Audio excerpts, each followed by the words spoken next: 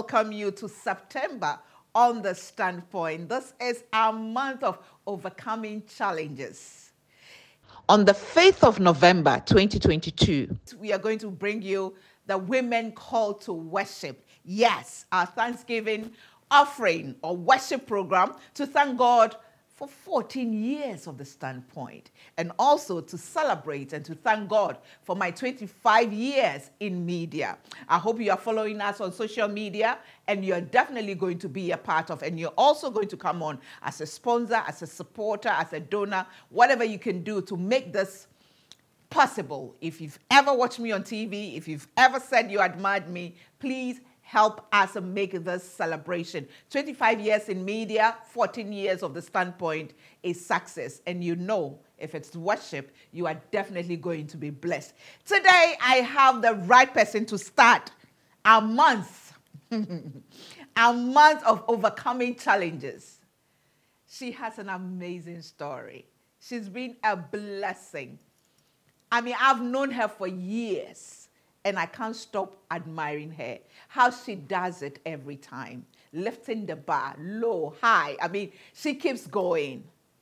You don't want to miss this. Let me say thank you to GTP for my fabric, my cloth, and then thank you to Brie Radra for my dress. Makeup by at J. Claude Beauty. You can follow him on Instagram. He's on Facebook as well, and he will glam you up any day, anytime. Of course, makeup products, Note Cosmetics, all the time. We take a break when we come back.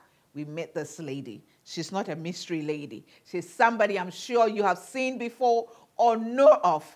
But I'm not going to tell you who she is. So we'll be back.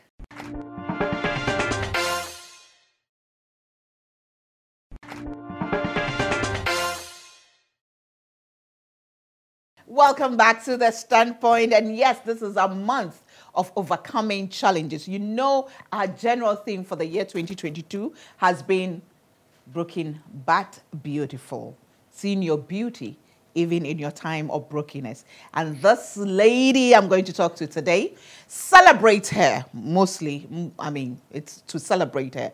She is a living example of seeing beauty in your brokenness and rising above the challenges. Well, let me say thank you to Kasapreko for their Wake Mineral Water and Puma drinks, standing floral um, decor for our beautiful plants, both natural and artificial. House of Food, Antiveria, always, always grateful. Gogot Yogurt, um, Yap Cleaning Services, Juice Time, and all our supporters. We're so, so grateful. You can tell that I'm so much in a hurry to talk to her. Of course, I have access to her. I could have had just a private talk, but you know, I'm not selfish, you know. Well, she taught me not to be selfish, you know. My guest today is the one and only Jibodi Kwaku Dosu. Um, she is uh, the CEO of Jibodi Consulting, and she's a certified high performance coach. Welcome to the standpoint should I say welcome back to the standpoint? Thank you. I was just going to say, you know, I was one of the earlier standpointers. Exactly. So you can't you can't say welcome, but just we, welcome back I, home. But I haven't really in, celebrated you. Actually, you've always been a part yes, of a discussion or topic, and that's what you love to do. How, is, are you still running Allure Beauty Spa? ah, that's a long story. So it's transitioning. Mm now, as you tell, you introduced me as a high performance coach. Coach, yeah. I went into consulting, coaching, and then everything sort of just ran. I was I went into product distribution first. I'm sure you know after yes. I started the spa, I had four areas. I had the school, I had yeah. the product distribution academy, then I had the service itself, yeah. then I had the image value, which was sort of helping people to look yeah. good. So I had those now, four. Uh, for those who don't know about Allure, yes, yes exactly. Um, was one of the first people yes. to open a spa in Ghana. In Ghana. First day spa, actually. First day spa in, in Ghana. Ghana. Yeah. And it was huge. Yeah. You know, every we all were my GBC days. Yes. When the, and it was a beautiful place. Yes. She ran it for years. She opened branches. Yes, all over. all over, you I, know. I was in Tema, I was in East Legon, I was everywhere. I was in Yes, Ghana, I was yes, all over Ghana. yes. And then, but now we know her as a life coach. totally different. Totally different. So that's what we are talking about. And I want to find out what happened. Oh, when did you go into the coaching? So backstory um, in 2012, because you know, if my life as an entrepreneur, my life is when I started the business in my father's living room. Hmm. The whole Allure concept was in 1998. So I'm 25 years in business next year. Wow. Next year. Yeah. 2023, Yeah. August. I, I always say on the 3rd of August is when I started in my father's living room hmm. as an entrepreneur in Ghana. Right. So I remember very well that during the Allure day, so Allure went through from a living room into a small shop in a Circle in Adabraka, mm. into another small shop in Labone. Yes, I then, remember that Exactly. junction. Then Nyaniba Junction, even before Nyaniba Nyaniba Junction, we were inside Labone. Oh. Ooh, then we okay. went to Nyaniba Junction Junction. before the Ultimate, which opened in 2006. Some people were not born, I'm sure. I'm sure. Some people were not born. And then in 2016, we were 10 years old. So, as you know, I had a big tragedy in 2015 Right. um, when I lost my husband. And if you don't mind, Yes. we'll talk about that, how you dealt with that, because that was a big blow. Sis, it's amazing how I'm sitting here. Right. And when that happened, so many things were affected. At that time, I was already in transition. I was growing and I was expanding at a fast rate. Yeah. And then tragedy hits. So you had to decide what move to make as a business. And yes, just like everybody else, grief had me paralyzed for a while. It had me paralyzed for close to two years. That's what people didn't know. People Yeah. just saw me come out doing things and they thought, you know, and we'll talk about that, but I, it, it felt like I was okay. Yeah. But throughout that time, most of the time, I couldn't really move, I couldn't really function, I couldn't really think. So that time, I in the business. And what I had done is I had sort of built the business, as you said, mm-hmm. Around brand Jibodi. So it was around me, even though it was Allure. Yeah. There was no distinction. No, Allure was Jibodi and Jibodi was, was Allure. So there yes. were no distinction between who Jibodi is and who Allure is. Mm. So when that happens and the face is not Yeah. there, But you tried at a point, you Yes. tried to, you know, make that distinction, but it still didn't work. I did everything. It's just like Gifty Anti and the standpoint. Thank you. And every time you go anywhere, they say Madam Allure, Madam Yeah, Allure. Yeah. So the Jibodi name was not, you know, that, that known name at that time. So what happened was business was affected, um, management issues. I went through a state of bankruptcy. That's what a lot of people don't even know. Literally failure, where I had to literally close down. And then I opened again. After I closed, business failure complete. And then I started again, started afresh, and then brought it up. And then at that point, everything about what had happened to me was working on me. I realized, okay, I'm a business person, I'm an entrepreneur. People come in and do services. But I can do more. I was already doing more. I was already doing, but everything I was doing was around looking good, helping people feel good. So my trainings and everything was all still focused around beauty. Yeah. But when the tragedy happened, meaning happened to me. Okay. And that was when I said, listen, stop. Meaning happened to you. That's exactly what happened. Tragedy happened, life stopped, and meaning happened. My life literally stopped, and meaning happened to me. So when external things, things like style, beauty, they are very important. Hmm. But at that time, I was doing it, but not with the meaning hmm. of real life behind it. Because now I realize that if I don't express what I can for the living, and I'll tell you this, at the time when during the whole time people would see me during the funeral, listen, but he's dead. You can't do anything. Stop talking. Like, and when I hear the word dead, it was like he's not coming back. Yeah. And I remember one time I had a reality conversation with one of my mentors, and they told me, he's dead. He can't hear you. Even that was at the funeral. They told me he can't hear you. All the tears, he's gone. And it played. But it didn't make sense then. No. When I was broken, when I was on the floor, when I was all over the place, I remember people saw me and say, "Hey," and they never got it. That that same Allure person who was this beauty, mm, Yeah, walking this around, helping everybody, this powerful, yeah. strong woman, rolling on the floor, going. At that time, and that voice hit me. So three, four months after that, it kept hitting me. He's dead. He can't hear you. So I'm like, okay, then what do I do for the living? who is left alive? And then that is when I realized, Gifty, when tragedy happens to you, that is when you know you find all what I call you have a lot of fans, Mm. but no friends. No friends. Exactly. So the day it happened, everybody was around. Days after that, everybody was around. Months after that. But I would never forget the day I call the 5th of July when all was done. Buried, he was in the ground. Everybody had done the refreshments, the activities, funeral activities, everything was gone. And then I remember coming back to my house with my daughter and family members who had flown from all around started leaving. Tomorrow, my flight, this, tomorrow I'm going here. Then the main activities in the house started to die down.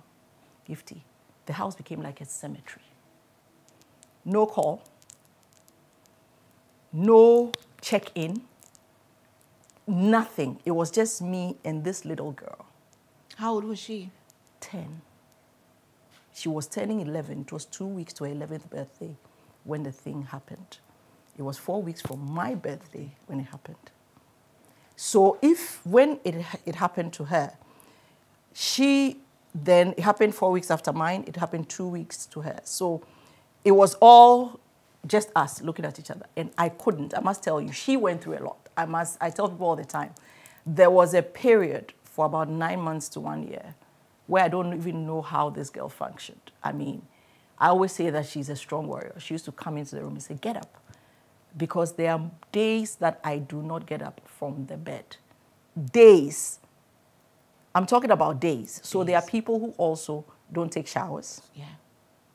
days in that bed. So it happened to me too. So everybody who is saying, oh, you know, I went through depression, I understand because I stay in that bed. I don't take a shower. I don't drink water. I don't eat. I don't do anything. I'm just there. Mm. And then she'll come. She'll be like, okay, take bread. Then she'll come and stand there and then she's talking. Take this. And then she'll come and stand. And she did that to me a few times. And then one morning she came and she came and said, okay, I'm, not, I'm also not going. I'm also not bathing. I'm also not going to school. I'm also going to sit here. Hmm. And at that age, you have a daughter who is coming close to that age. And you know them when they are five or a chirpy chirpy. This one was more chirpy. and she said she's not going to school. So she also sat in the bed and this thing. The first day, I didn't mind her because I didn't even know what she was doing. doing. But it was about the second or the third day I realized if I continue, because I kept saying, you have to go to school. So she was the person that got me to talk, to be able to say something, because I was always, and then people close to me and um, my pastor, his wife, it, they were like the rocks. They were in there, in my room, in my house, at my door. They were just there. They were family. Because At a point, I, I even thought you were going into ministry, full time ministry. I'm telling you, because all I had at that time was nobody but God. So they would come in and they would be there with me, like literally. And they would hold me down and they would hold. And at that time, I started to focus. That was when, you know, ministry has always been me, and I've always been ministry. So it's something that had been happening, but real meaning to everything happened in that few months. So when she came finally, I said to her, okay, I've listened. I'm going to get up. She's like, okay, get up now. So that reason was that she's the living. Yeah. Everybody says he's dead. She's the living. How do I live for her? And that is what got me out of She was the first reason I realized that, okay, this girl is living. And you know, the dead, it just hits my ear. Even till now, always people say live with the memories. But that is why I got up. And that was when I started realizing, okay, things were very rocky. Things were, so in doing things for her, I started sharing the stories. Let me call it the memories. Mm. Trust me, nobody has a perfect life. We didn't have the most perfect marriage. He wasn't a perfect man, I wasn't a perfect woman. But I always say that love lived in my house. So I can say love lived here. with all the imperfections, with all the. So I started sharing the memories. So I started creating stories, reminding myself. So you would see that I started, and I said, how can I write all of this and keep it in a book? Let me take a break. When we come back, we'll talk about that because I would also want to find out why you kept you you. I mean, what kept you crippled? Was it was it a, a, sense of feeling guilty that you you have your life you know, you, you continue living your life when he's not around. I mean, you know, people talk, talk about the grieving moments and the things that makes made it impossible for them to kind of rise above it. But we'll, we'll find out um, that when we come back. Let me say thank you once again to GTP for my cloth. My dress is by Bri Redua, makeup by at J Cloth Beauty on Instagram and then makeup products always by Note Cosmetics. We'll be back. Years ago, I used to mention Allure. yes, very much so. We'll be back.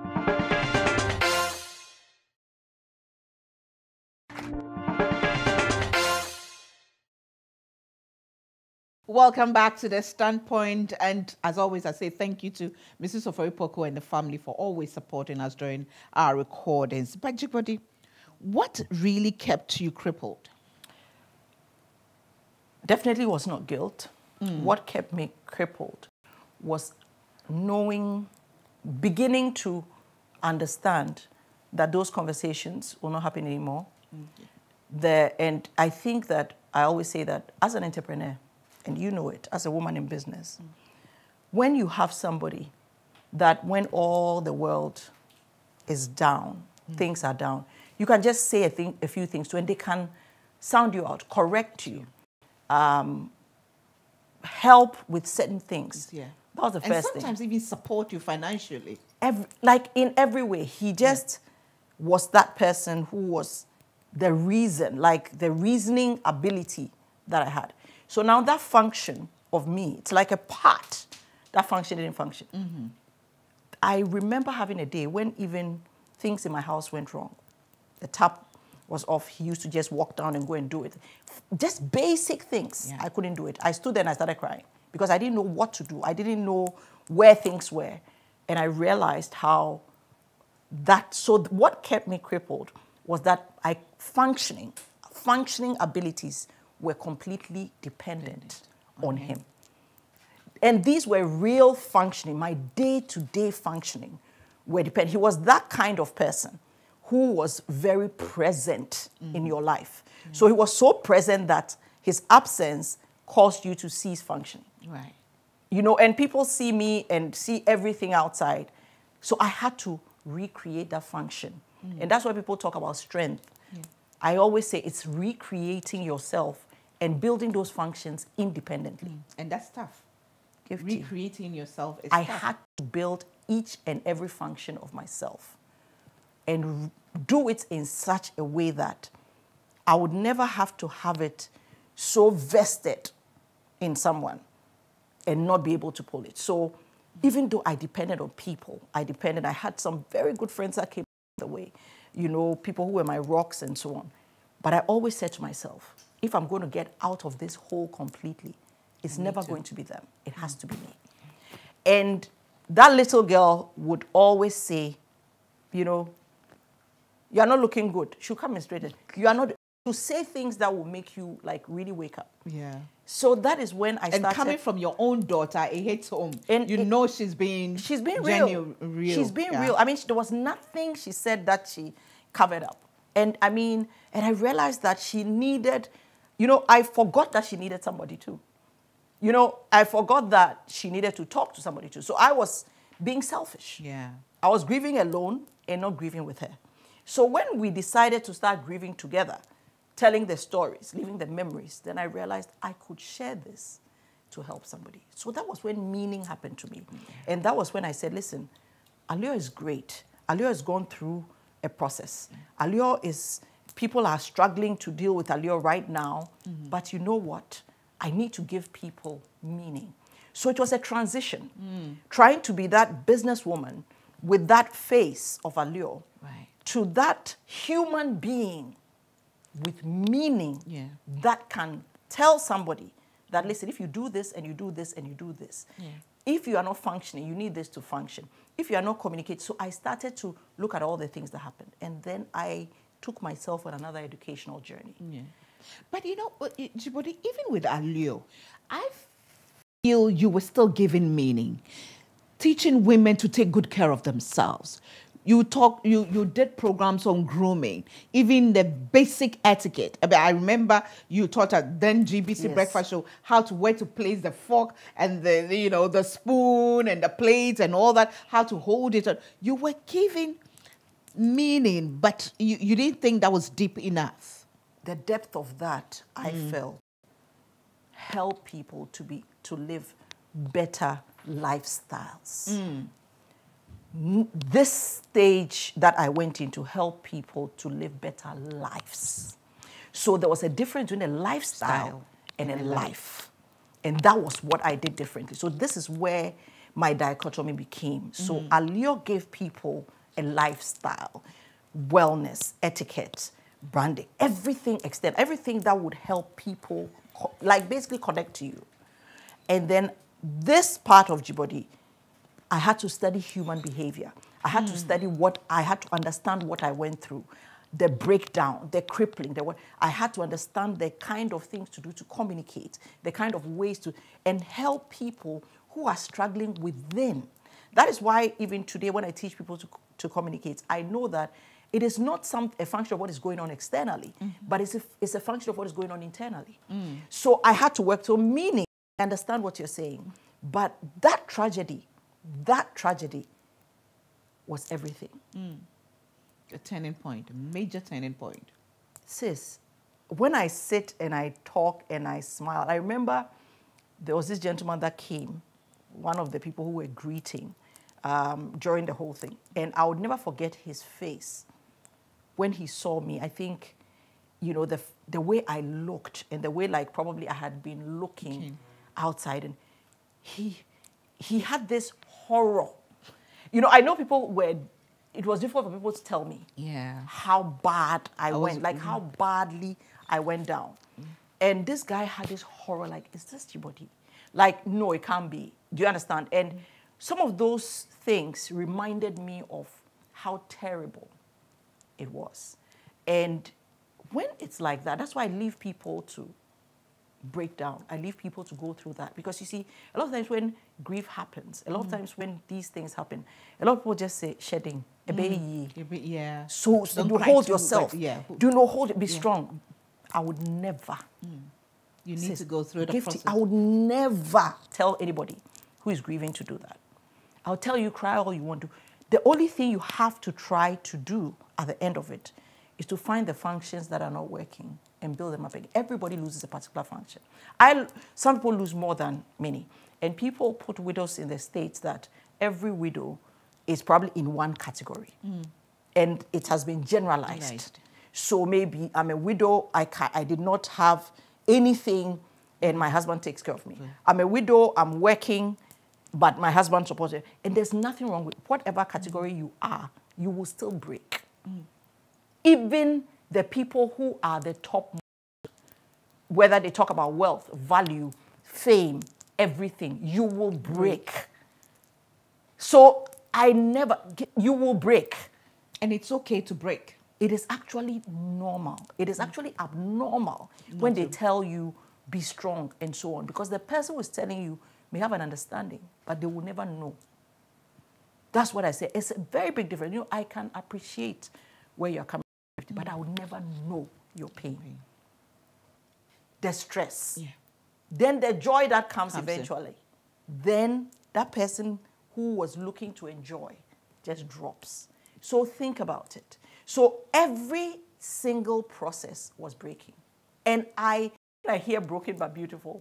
I just mm. laugh because really pieces. Yeah. Mine is torn like Yes, yeah. pieces. It's like I, I, I used to feel like paper, weightless, nothing. And it was, ah, but buddy, you, you that was talking to everybody, you that helps everybody. Yes, I felt like nothing, completely. And I it's didn't. people like us, it's- that's when it hits, it really hits hard.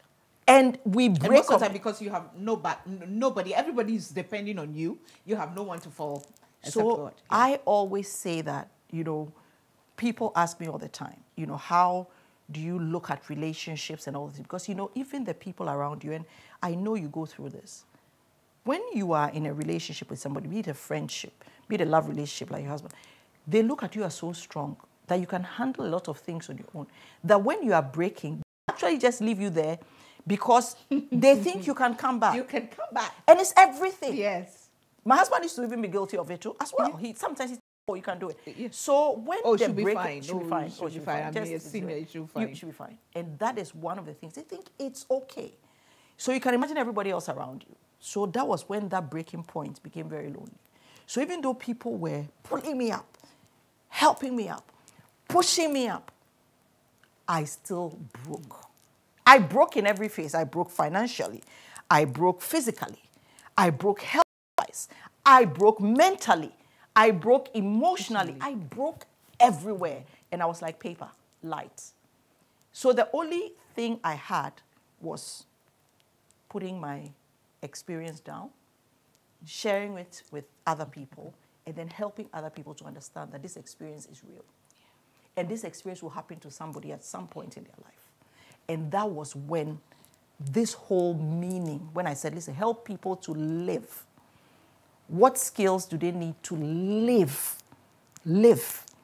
And I had to do it myself before I could teach others. And that is where the whole new brand body came helping people. And when I talk about people performance, high performance, it's not about what people see like top performing in merit, but being a human being. Being that person who has empathy, emotion, encouragement when you are engaging somebody. So being a human being is very different from this. Having human skills is very different from being a lifestyle coach. So that is the breaking point. That's when the real Jibodi.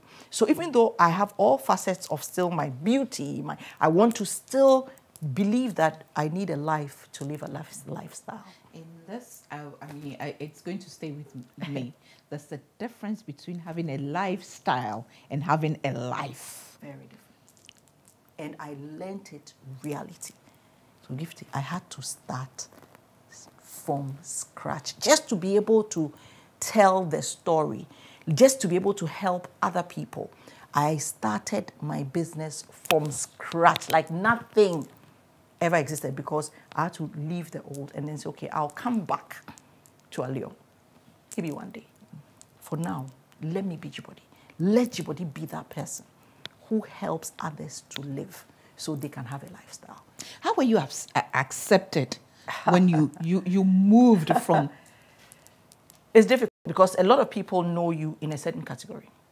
My big fortune was that whilst I was working at Ali, a lot of my work was done in corporate. Yeah. So I did a lot, you know, with you know companies, with TV stations. with- So I worked a lot around corporate. That was the biggest benefit I had because you know bringing human behavior and human skills into corporate, they must know you. But everybody had a tag. So many times, when I come there, I hear ah, so this beautician too. What's she doing here? ah, but she's a beautician. She said, yeah. So I always tell my beautician ladies because I have such a huge following. You know, Yes. thousands of people have opened their salons today Because of you. Yes. because I started. I had the courage to start. Yes. I had the ability to train Yeah. other people. And so many of my girls are out there and I see it. I'm so proud. And they are all still in the circle. Right. They call me. I have my girls and my boys. I have those who have opened schools, those who have done well, those who are still in the system, those who are. And they all, when I started this, everybody says, because of you, I could do it. Yeah. Because of you, I could do it. So for me, that meaning still matters. Yes. You know, I gave a lifestyle, but I gave people the meaning, of Meaning. entrepreneurship. And I always say that, listen, the fact that you are in the vocations doesn't mean that you, you don't have an education. Listen, mm-hmm. whether you're a hairdresser, you have an education. Education. Once, listen, there's three. There's qualification by experience, oh. qualification by expertise. You can learn by qualification by, by schooling. So all of that is education. Yeah. So I just hated the fact that the beauty industry, mm. those vocational industry, mechanics are looked down, Down upon. I can't stand it because, You- sis, look globally. Yeah. They are the most important, Important, people. yeah, of They make more money, Money than white collar. Look at a mechanic shop outside. Yeah. Look at how Yeah. people even pay. You go out a lot. If Yeah. you go to a spa outside, can you imagine how much it costs? Those industries are what drive lifestyles. And I tell them they're the biggest resource. So when people look down on them, I used to fight. That for me was meaning. I was fighting, fighting. advocating, and I wanted to bring a standard to that industry. And I did it. For that, I'm grateful. Yeah. I had to move to now take each individual human being mm. and help them. To, And I must say that you've done well with Brand Jibodi. Oh Transitioning, it's been beautiful. It's been amazing. I see the classes you organize all the time.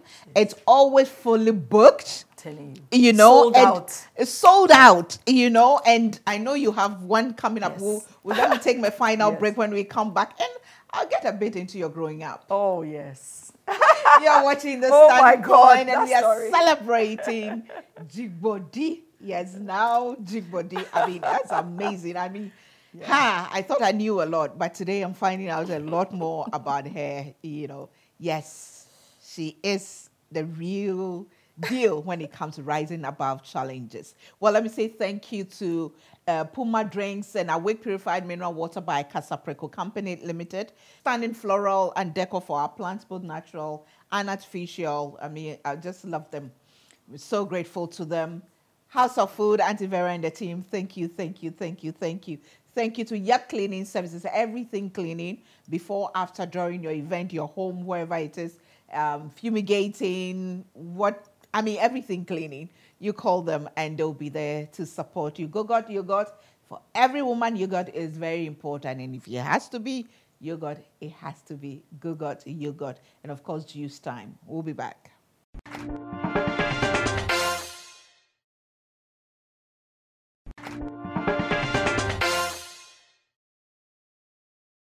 Welcome back to the standpoint. Where did you grow up, Jibodi? I grew up in Ghana. I call it the Osu Residential Extension. People didn't know Osu RE is actually Yes. Osu Residential Residential Extension. Oh, okay. When That's we- a- a That's it. And a lot of people say, oh, Osu, Osu RE, residential. And, you know, in that area, at that time, we didn't have this whole Oxford Street thing. Mm-hmm. It was one of the quietest neighborhoods ever, before Oxford Street actually popped up. Well. So you could walk from your house to Danquah Circle and you wouldn't see a thing. At that time, I was just right there. So that's when I grew up. And my grandmother lived in Lartebiokorshie. So she lived between Circle, Adabraka, and Latibi. So I had three different homes Okay. that I shuttled between. Okay. Um, so my I grew up amongst eight boys. I'm the ninth and I'm the girl, only girl. The only girl. And I was the baby. So you can imagine what I've been through. Beaten, dumped, Yeah. jump over walls, but- used for every excuse, Excuse. ever. Uh-huh. Um, I know because I'm also the last one. So Ah, so you I'm the last of eight. Ah, so that means you and I are this thing. I so I after they all you know. But that was daddy's spy. Ah, Were you were also a spy? Oh yes. but you see, my own was challenging because I had to be the spy, and I was the same person that they sent to go and ask for For things. things. So I had to be on both sides because if I wasn't, I'll get beaten. So when I came, you know, it was more like unexpected, Right. you know, and I came and I became Same like me. They used to call me accidental baby. me too. So I think that's our commonality oh, that's- right there. you know, so accidental. So I came and then all of a sudden everybody says, oh, a girl, because everybody was expecting another boy. Boy. Of course. And then a girl came and then I had to. So I did things as a tomboy for a while. As for that. Mm-hmm. And then I went to Richard School. And then from Richard School, I went to Accra Girls. And then Okay. from Accra Girls, I traveled to the US. And I went to university. I did my postgraduate and everything before I came to Ghana.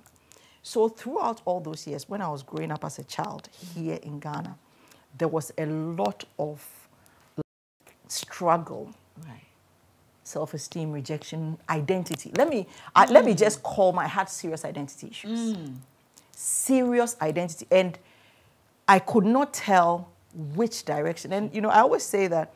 But you grew up with your parents. I did. I grew up with my dad and my grandma, but my grandma sort of as soon as I was like 11, 12, she sort of moved because my mom was in and out. She was Okay. traveling and stuff like that. And at some point she was unwell. So during that period, it was my mm. grandmother that, that grounded me. And mm, she okay. just helped. And my grandmother, I, that's why I, I those things, it, it fascinates me when people mm-hmm. say people are this thing. My grandmother was like literally semi-literate. Mm. She was three years old when she was sent off as a maid.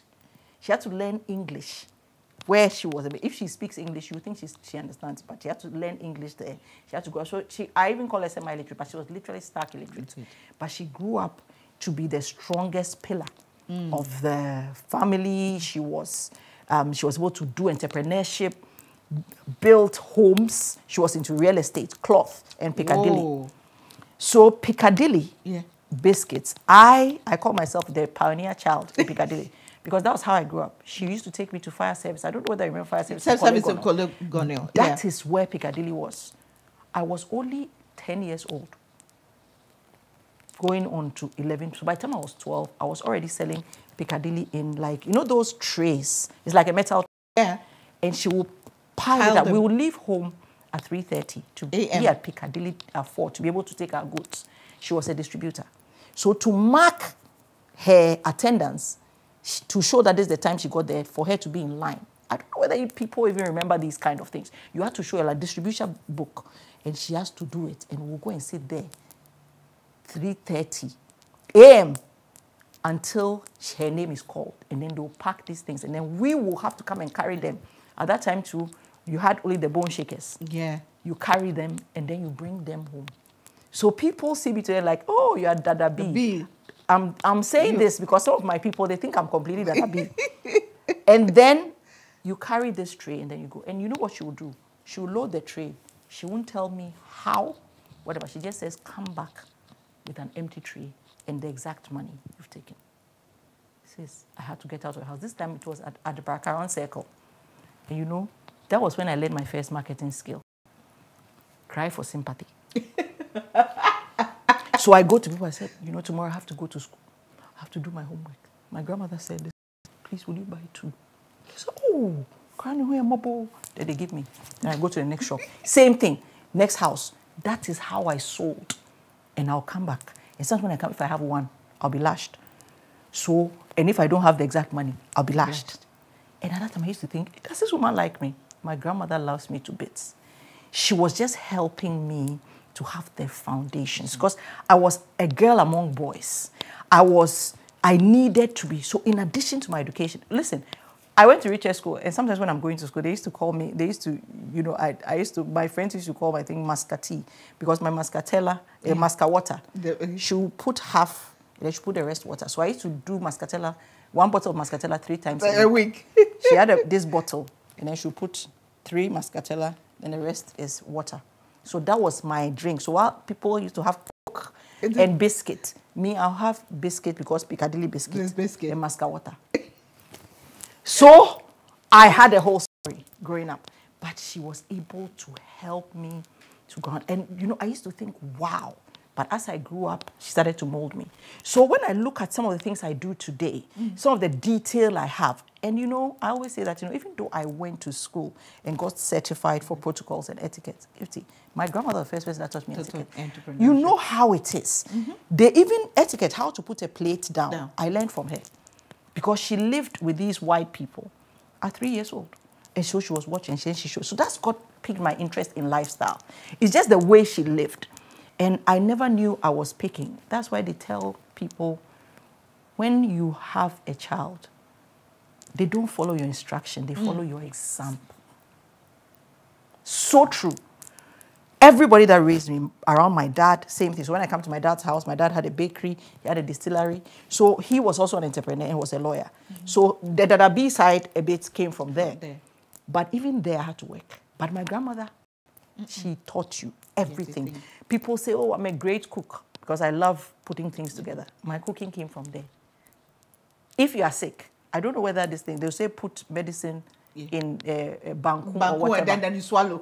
She Yeah. said, give the girl water. And this, I've, I hate medicine till today because of that. Because whenever I put medicine, I'm crying. Chloroquine. Do you remember when you have malaria? Oh, just like my dad. They'll put it on a spoon, add water, and you will drink it. I Uh-huh. even feel it now. Uh-huh, sis, yes. Sitting here. they crush it. They crush it. Yeah. And then you have to drink it. Yes. Chloroquine. yeah. Yeah. And sometimes 6 pieces or something. We went They will never, my, my dad will never put it in that bag, go and hide it and swallow it. He said, no, you have to They see what you're taking. it, and people Yeah. saying, "Oh," she says, "No." She has to learn the bitterness of life Yeah. and the sweetness of life, and I never got it. That I was face, you know. So those things were. all- She said she has to know what is bitter. She has to know what is hard. She has to know what is sweet. She has to know love. She has to know hate. She has to know rejection. She has to know disgrace. She has to know embarrassment. She used to say these things. That I need to know what all these things were. Now, why do I suspect that after the tragedy, all these things came back to you? everything. It was never before. When I was living a lifestyle, I used to talk about it, I used to go see her. To- but when the tragedy hit, it all, Makes sense. suddenly. everything, the bitterness of life, the embarrassment of life, the disgrace of life, the loss, the fear, everything, all my life flashed in my eyes. And I said, if I'm going to live, the only way I'm going to live is to help other people live. Sis, it's not been an easy journey. That childhood experience was something that I lost along the way. I mm-hmm. mean, I was living life. I was mm-hmm. saying, listen, I have, you know, the, the, the, what it takes. I was Yeah. doing business. I was it. on the run. Run, yeah. I was giving mm-hmm. everything. I was Yeah. giving myself. I was this, you know, very known businesswoman. I was everywhere. Across the continent. Everywhere. I remember. You yeah. remember? I Yeah. was in every Everywhere, country. Yeah. I was traveling. Yeah. Everybody. Yeah. And this was We were me. international networks I'm telling everything. you. I remember. when the ice bar they came yes, to Ghana, yes, and then. I mean everything. Mm-hmm. It was just big, big, big, big, big, and that was all I saw.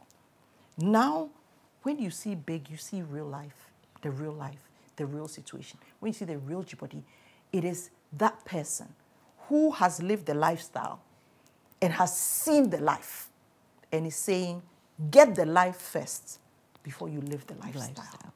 That is my mantra now. Yeah. First live. Yeah. First, have life. Everything else, the lifestyle, live it, but have life first. Because if you start with the lifestyle, that journey is a circular journey. You will come And back to it. trust me, sis, if you don't, if you're not careful, enjoying that journey, you don't have the energy, the ability, and you drop in the valley, hmm. you will never come back to the life. But when you live the life, you'll be able to come to the lifestyle. That is what I realized. A lot of people like me fell in the valley. And listen, what took me to come out of the valley? If it wasn't for certain things like this little, some people drop in the valley. I know people never- never return. They've lived the lifestyle. Something has gone wrong in their business. Something has gone wrong in their life, and they drop. Haven't you seen many people like that? The ones we grew up with, Yes, yeah. the ones we know. Yes. Something just cuts off. Something pulls. Yeah. And when tragedy happens and they go, They never come back. they never come out. And that is why I want the, this generation. You know, we are from the our, our fifth floor generation. Yeah, exactly. But that generation that is coming Yeah. have to And learn. even our generation. Oh, sis, yes. Because there's some True. in our generation who True. still, I'm um, sorry to They say, don't get don't it. get it. it's true. Yeah. They don't get it. And I get it that if you don't go through this, you know, because that's why I say things like, you know, honoring, you know, celebrating each other. that- yeah. I mean, the last time I met you and I was just Yeah. excited, I said, Yeah. listen, And I'm so sis proud has- that I had, Yes. I, I had to give you that award. I know. And I said, listen, my sis has broken boundaries, has mm. done the, and I know what you've, and you continue to do great things. And I celebrate you more. You I are celebrating me, you. but I'm celebrating. And I celebrate and, you. And I, I remember that on my social media page, I made sure that people knew who you were. Yeah. Because it's important that honor is given. And people think that the fact that we are sisters, the fact that we respect each other, the fact that we know each other, doesn't mean I can't celebrate With you. you. That doesn't mean that I can't have a certain relationship where I honor you. Yeah. And all of this is usually left in the gutter. It's left in the valley. It's left there because we are thinking about this versus that. Right. Life, people look at this year. I just watch a lot of people, mm-hmm. painful people, just going, Yeah. Going, painful stories, Yeah. and people are just going. Yeah. And I'm asking, are you living? Living. And what are you leaving? So I have two L's living, Living and and leaving. leaving. And that is what drives me now. Helping people to live so they can live well enough. Says, to say that I'm proud of you is an understatement. And um, we don't talk often. We don't. We don't meet often. We don't, you know, do things to the. But I am always following you on social media on your programs, and I, I get amazed. I've admired you for years, from my GBC days and everything. I've had opportunity where I've confided in you in the past and everything. But today we just want to celebrate you, Thank you, and I'm just happy for who you have become and becoming because this is not your limit. just- oh, yeah, this just is the, just the beginning. beginning. Great. I was telling the team this morning, mm-hmm. momentum has started. This is just the beginning. you know. And I mean, the, especially the lives you're touching, and as we said earlier on, you know, your programs are mostly sold out, and you see the joy on the faces of especially the young ones who attend these. And I will urge anyone follow Jibodi, uh, Jibodi, the Instagram pages. Um, Jibodi Kwaku on all social media, social media networks. That's Jibodi networks. Kwaku. Yeah. When, when is your next program? my next coming? program is first October. First October. and I'm awesome. helping people with communication, human skills, Mm. and using that to communicate relationships, like how they need to know who they are. There's so many people who are having things going on inside. They need to just send messages Mm. across. They need to get jobs. They need to do, but they are so scared. Right. They feel they don't have it. They feel I cannot even speak. I cannot even share. Look at how we are Yeah. having Yeah. conversations here. People cannot have these kind of conversations. Right. Meanwhile, they are struggling in either a relationship, they are struggling to get a job, they are struggling to win a business. And I want to help people become better Right. in that area. So that next program is a class with Jibodi. It's coming on the 1st of October. And how can people 22. get on It's- register? It's, everywhere on social media at Yeah, the moment. okay. So they can just call 0244 337 340. Okay. Um, they can go to WhatsApp, same thing, 0505 865 132. Right. They can go to every place. All the links are everywhere. And I even have a bigger one coming in November for those who are already speakers and want to become dominant. Okay. That one is also coming. So November, yeah. October. Watch this space. Now, your final words to people watching you who are going through challenges and are struggling to rise above it. Challenges are there for you to be able to rise above it. That's the whole idea. But the issue is that you, when you are down there, go through it, be in the pit, cry, break. But the only thing I always say is remember who you are going to rise up for. Mm. You need to raise something called necessity. In coaching, we call it raising necessity. There's always a reason that brings you out. That reason, people call it your why, they call it, but you need to have a reason. Is it your mother? Is it the fact that you haven't finished what you're doing? I knew people on their deathbed that rose up because they had that necessity. You need to raise that necessity no matter what. And that is what got me out. In spite of pain, in spite of rejection, in spite of disgrace, in spite of embarrassment, in spite of everything that holds you down, the choice you make is Am I raising necessity for what? It is not, you can't do it alone. And you can't do it by yourself. The person that says, oh, everybody that says, rise up, rise up, says is important. But who Right. are you doing it for? What are you doing it for? And why Why are you are you doing, doing it? Once you ask yourself those questions and there's a reason, use that reason to come out. It's not easy, but you have a reason and use that reason to rise up. And I say amen to that. Amen, sis. Thank you so much. Thank you for having me. Thank you. And Thank you this for one we need to do part two. Another I'm telling time you. Oh. I'm telling you, the stories, they are different part. We, we have series. We, we've spoken about some today. yes. But you know, our, The our, our story park is this. The, the, the books, uh, when, are, the- when are the books coming out? it's all written. oh. Mhm. It's all written. Uh, So but soon. Sooner than later, Okay. it will be popping up. As for Amen. that, sto- this, this story needs to be heard. It has to be. So one of these days it's coming out, and I'm proud of you for your books. Oh. And as they come out, Thank sis, you too. Thank you Thank so you much. too. Thank you for having me, and you thank you, coming. and I honor you. I honor you too so much. Much love. Thank you. Right, so this is the first of our series on writing about challenges this month of September. Next week, we'll bring you another lady who rose from grass to grace and then went back to grass and now Back to grace. back to Love it. grace. I'll be back with a bit of me.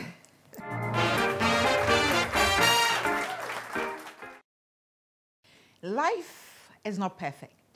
I know it's become like a cliche, but life is really not perfect. I mean, take a closer look at your life.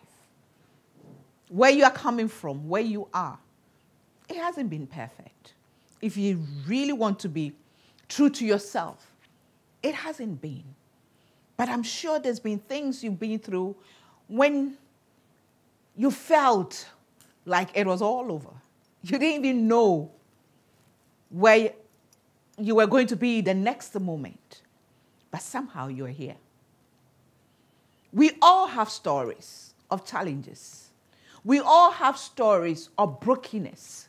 We all have stories of pain, irrespective of where you grew up from whether from a rich home, a poor home, middle class, irrespective of your race, your tribe, whatever it is. We all have such stories. But for some of us, it's still with us. We have on a facade as if everything is okay. But deep down, it's not okay. When you read my book, A Bit of Me, there's one whole write up on it's okay not to be okay. There must come a time when you have to sit down, analyze who you are, accept your brokenness, your pains, your scars, and find out how you are going to deal with them, how you can overcome it. And to tell you the truth, it's good to see psychologists. It's good to see counselors. It's good to see your pastor, whoever it is. It's good to have good friends to talk to. But all these people, the only thing they can do is to help you to get to a place of acceptance, of realization, of deciding to do something about it. So ultimately, the decision is all yours. It will all come back to you, what you want to do, and what you want to do with what you have, what you are left with. What is it? Is it financial loss? Loss of a loved one? Is it disgrace, shame, whatever it is? You can rise above it. Anything, everything thrown at you, you can rise above it. It all depends on you. And I hope that this day you make a decision to rise above the challenges. It's going to be tough. It's not going to be easy. But you can't. You can't. And I trust you that you can by the grace of God. I'm a woman with super crazy faith in God. I know God has got me covered. No matter how low I go, I know God has got me covered. But I know He's giving me wisdom. And that wisdom is to ensure that I never give up on myself. Thanks for watching. See you same time next week. And remember, you can rise above this challenge too. Mwah.